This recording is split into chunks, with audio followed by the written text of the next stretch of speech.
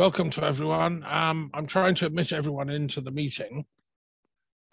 There's a few people coming in. Greetings, Dr. Swaminathan. And uh, good, evening, good evening, Dr. Swaminathan. Good to see you. How are you? Morning.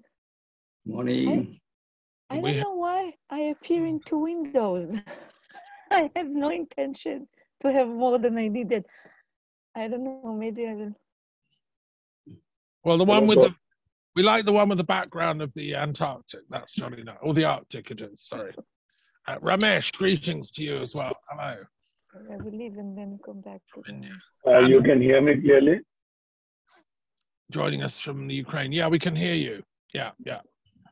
So my Welcome. name is Ramesh Prasanna. Good evening. Greetings. Okay, so look, let's start by doing our introductions. It's a thing that we do here. Um, and uh, then we're going to get on to our speakers. Um, we have some interesting talks lined up. So, can I just, I'll introduce myself. Hello, you know me, Dr. Thomas Daffern. I coordinate these monthly meetings for the World Intellectual Forum. I'm a philosopher and historian.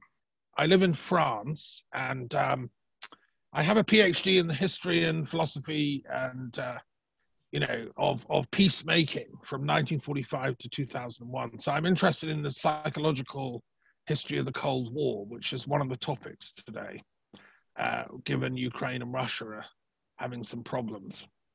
Um, okay, so that's enough from me. Let's go around. Sean, um, do introduce yourself, and then we'll quickly scoot round. Yeah. Yes, very quickly. Hello, everyone. Delighted to be back uh, on the seminars again. My name is Sean English, and I've worked with Thomas over quite a number of years. And again, my areas in peace studies, and particularly the philosophies of peace and peace theories, and trying to see how we can bring them into the real world of political realities. You know, that the ideas that previous philosophers have set up and theologians and what we're missing, the wisdom that's there that we can bring into the real political world, we say, of the conflict between Russia and Ukraine or whatever conflict it is. So, okay, Yeah. Okay, welcome, Sean. Thank you. And today's the anniversary of Bloody Sunday, a, a massacre in Ireland. yeah, we'll yeah. talk about that. It's on the agenda for later. Um, Ian, Ian, joining us from Australia. Do introduce yourself. I, I have been associated with this organisation for some time now at the invitation of Dr. Swaminathan and uh, his colleague uh, uh, uh, Swamin, uh, uh, Swami Agnavarti. And my special area of interest is interfaith relations. I've worked in that field now for quite a few years, since the Yom Kippur War in 1973, in fact. That's where it all started. Uh, I've served on many committees. I've chaired the Victorian Council of Churches Interfaith Commission for some years. I've only just stood down from that. Um, uh, I've been closely associated with the World Council of Churches and some of its programs.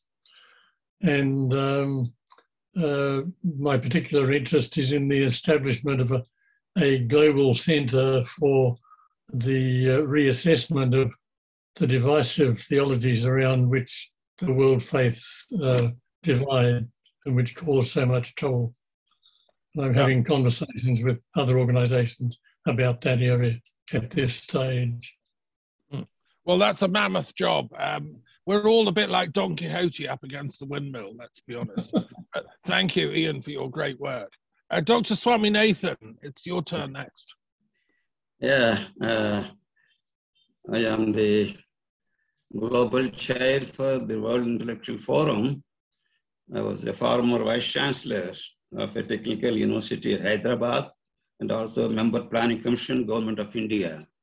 I was teaching structural engineering in uh, Andhra Pradesh uh, in the technical Jawaharlal Nehru Technological University, Hyderabad. So I'm here to join the meeting and uh, listen to the uh, Galaxy speakers who have joined here.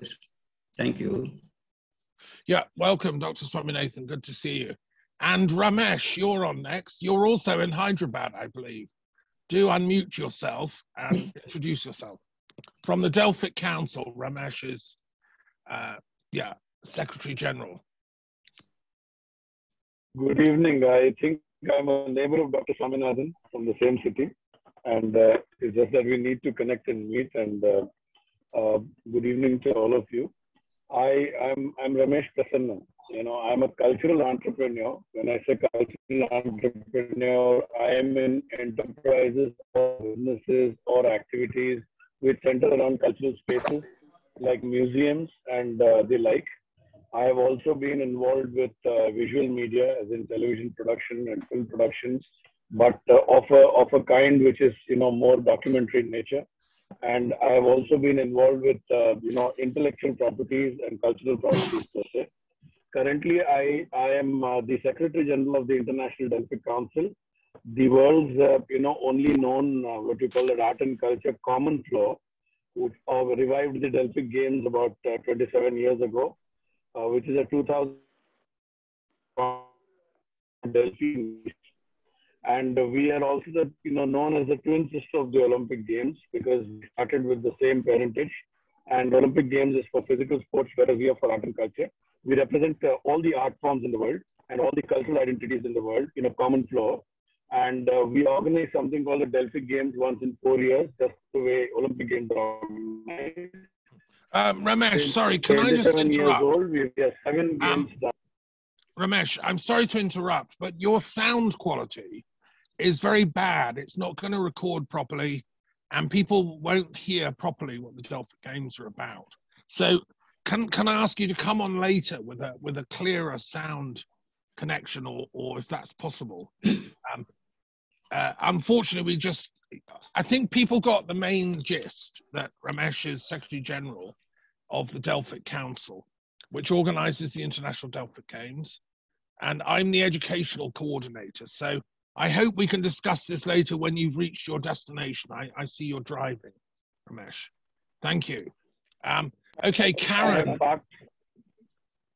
Okay, fine. Well, do do stay and please join the meeting. But um, Let's move on to Karen now for her introduction from uh, MAPS. Yeah.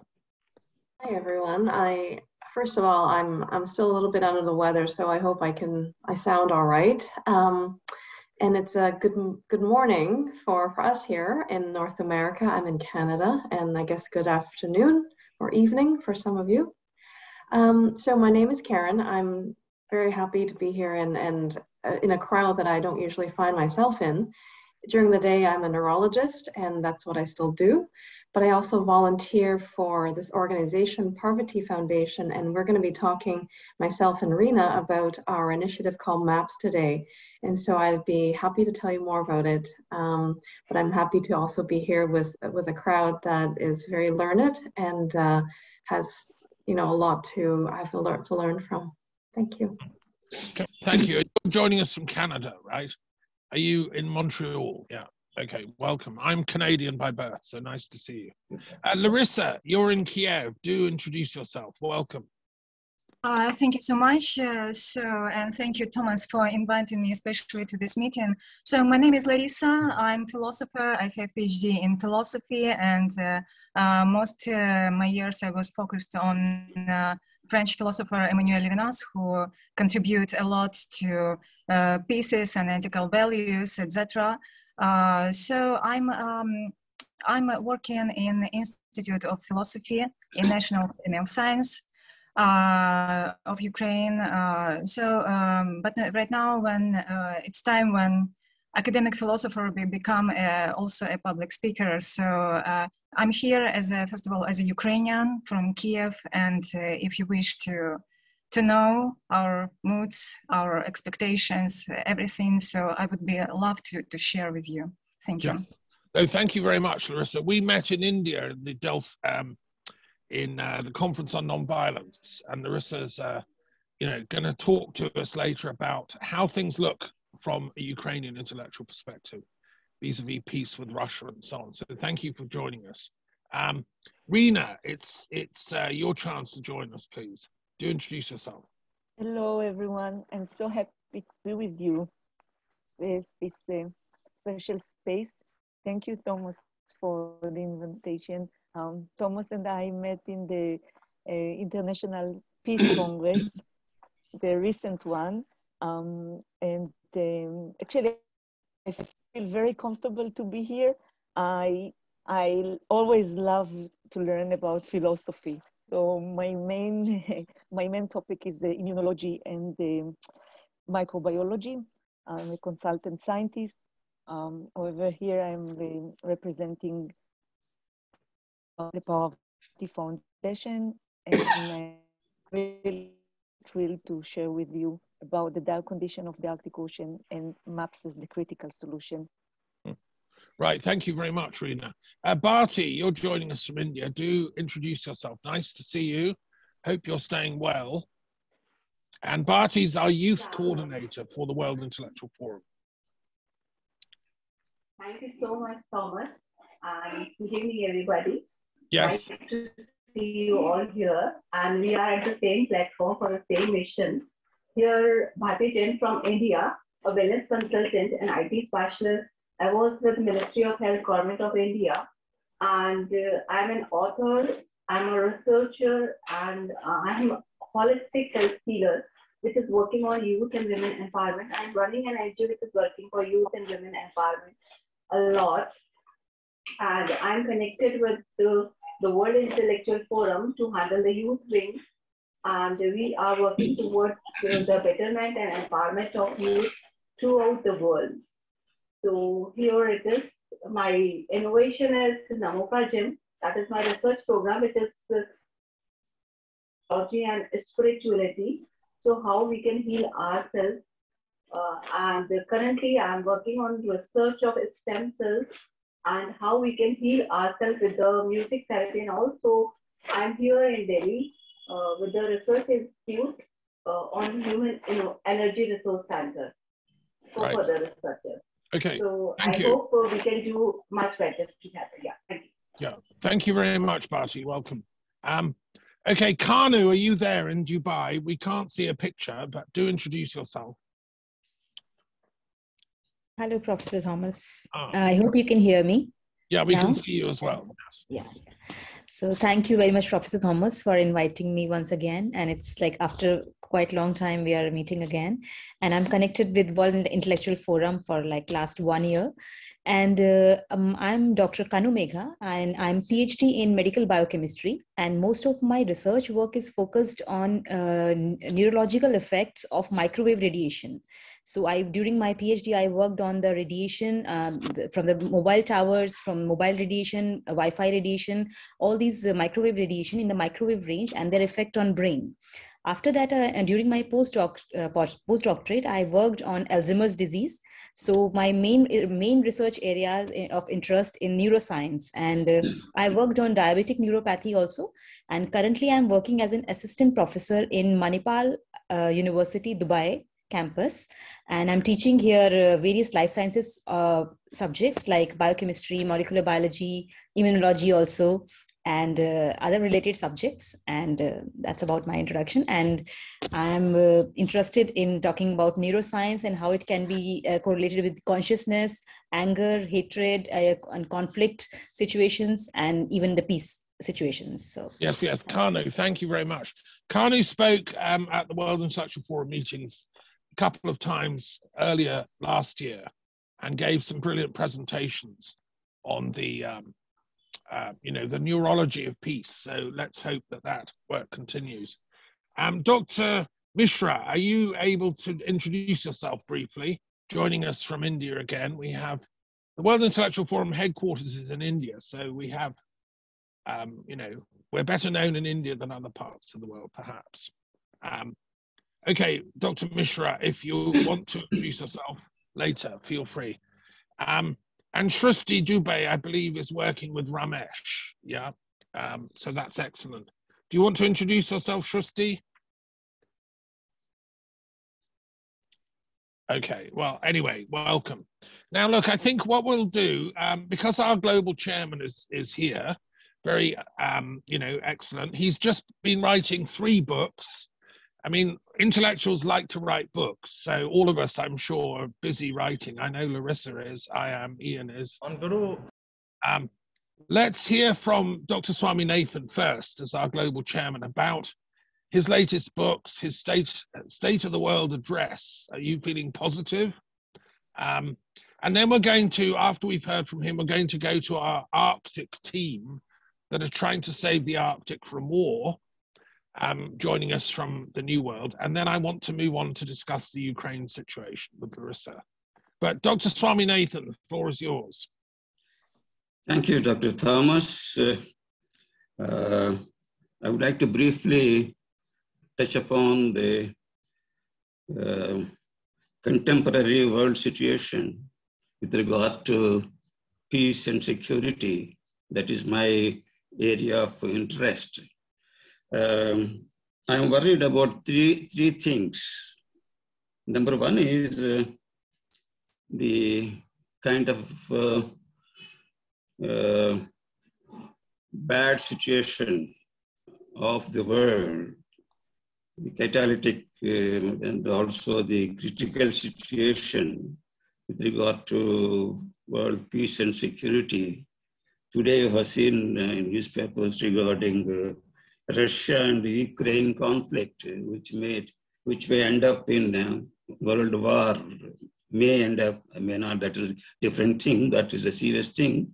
And also, I got already on uh, on, on hand uh, Syrian civil war, Yemen situation, Azerbaijan and Armenia conflict, the Korean Peninsula, North Korea, and now Russia and uh, of course Russia and uh, Ukrainian situation may drag in all uh, the European countries as well in case it gets a, a serious turn. So I'm also um, that uh, perhaps uh, may lead to the perspectives, uh, perspective third world war situation, which I have been talking about. Uh, that's the first worry. And the second worry is uh, the failure of the global uh, governing systems to meet the situation, to rectify the situation, to do anything to stop the local uh, regional conflicts or even the wars. So, I mean, the United Nations organization, which was set up after Second World War, 19, 1945, it, it has done nothing uh, to stop all these things. Therefore, it's a failure. This is a second worry. And third, of course, is uh, my own suggestion of um, having an alternative system of uh, world governance uh, in place of United Nations. That is uh, a world government, a democratic uh, federal system of government, which have got some powers to prevail upon the local countries, uh, countries to stop uh, local conflicts and also the, their contribution towards a pro prospect to a third world war. So these are the three things that have been worrying me. Keeping this in view, I have written uh, about seven books already, and then one book is in, in printing, another book is in editing, one book is in translation, so the underlying thread of all these uh, books uh, is uh, the how to stop the uh, World War again, having seen the Holocaust of the uh, Second World War uh, and using the atomic bombs on Japan. So you don't want to see such things to recur again. And having uh, at the moment with all our modernization and development and also development in thinking process as well, we should see that uh, nothing could uh, will happen to see such things, uh, uh, such a Holocaust take place again. So I suggested an alternative um, global governing system as the new world government and uh, the structure and also the constitution. So that book has been published already, the New World Government Structure and Constitution, for which uh, Dr. Thomas has written a foreword, uh, excellent foreword there for that. Then I have got uh, um, one more book, Can We Save the Planet uh, uh, from the Holocaust of the, the, the weapons of mass destruction? So that is another book wherein again I have reiterated uh, the whole global problems and I have uh, recounted uh, various, various um, suggestions, various processes that have been suggested for global governance, and also I have included my own uh, government, government, government structure. So again, the lastly, think of Professor Thomas uh, has written a foreword for my book, the the tale of three nations uh, in the Indian subcontinent. Three nations means India, Pakistan, and Bangladesh in the originally they are uh, the same soil working together living together without having same culture tradition etc but uh, uh, unfortunately they are divided you know british have divided the india and pakistan and later the bangladesh uh, dismembered from pakistan and now they stand as three independent nations uh, fighting each other, not having any coordination at all. You know, this situation in the subcontinent is not leading to any peaceful uh, situation. Therefore, I have got this wild idea. I say wild idea because they uh, coming together is almost impossible. Again, my idea is to bring them together, make them together, and call uh, them as uh, the uh, Indian Union of uh, this is what I said in my book, Union of Indian subcontinent nations uh, on the lines of European Union. Take it as a model and then uh, drop uh, a proposal to have a the combine these uh, unification of the three countries under Union of Indian subcontinent nations. And then I also suggested that uh, uh, under this uh, union, uh, we, have, we can have a defense pact called Southeast Asia Defense Treaty. SEAT. Earlier, I called it a SADO, but which uh, I think Dr. Thomas objected to it, saying that is not a good word. so I have uh, rewritten it as uh, Southeast Asia Defense Treaty on the lines of NATO. So these are the two main things I suggested. And then uh, in the end, I suggested that this uh, union should support the world government, world federal democratic government to minimize the influence of the superpowers. So coming together of these three nations, uh, uh, Pakistan, India, Bangladesh will not only help maintaining regional but also world peace and security. So this was one of the books I have written. So all these books, uh, as I said, the underlying thread is uh, to see how best we can bring about world peace and security. Right. Thank you. Okay. Well, thank you very much, uh, Dr. Swaminathan. And your your efforts are heroic. If we can save the world through publishing books, then we're going mm. to be in the forefront. Um, yeah. And any questions for Dr. Swaminathan, put in the chat, please, whilst he's online. We won't uh, go into questions for everyone, every speaker, but what, because I want to get as many speakers as possible. But, but um, I'm sure people have questions. I think personally that the idea of a European Union type of union for the Indian nations is a brilliant idea. And I noted that um, the leader of India, Modi, was just meeting some Central Asian leaders in a in a summit uh, just a couple of days ago. So um, yeah, I think you should send your book to Modi, and he might be interested. And I also know that the leader of Bangladesh, who joined the Paris Peace Forum in November, she is very much committed to peace. She's a Muslim scientist, academic, and philosopher of a high order. And also the president of Pakistan, um, Imran Khan, is a very clever intellectual. We should get these three people on board for your project. Let's do it. And yeah. um, you know, I don't see why not. I think also later we'll hear from Ramesh, or maybe he could say now. Ramesh, could you just say you have for the Delphic Games meet, uh, members in Pakistan and Bangladesh, don't you? Could you tell us about that? Yeah, it's an excellent idea. In fact, uh, India, Pakistan, and Bangladesh, we have all the three countries, we have Delphic councils. And uh, in fact, we are working on a model of peace through arts and cultures because we call that track five diplomacy in diplomatic language. But I guess, uh, you know, we are not traction with the government as such. But what we do is that through the Delphi Games, the Delphi Arts, and various initiatives, we do intend to organize activities which are common to all the three countries because culturally speaking, India, Pakistan, and Bangladesh, all the three have a common, uh, you know, uh, lineage, obviously. And more than that, I think even when it comes to a language, subcultures, in fact, Bangladesh is a very good example of how they've not changed many of the street names, many of the festivals, the way they celebrate, even in spite of the fact that, you know, we are not together for the last maybe about um, 75 plus years. And yet there is, there is a commonality that we have. Similarly, Pakistan, while, you know, language might have, uh, you know, uh, uh become something else right now, and the subcultures and the narratives must have changed.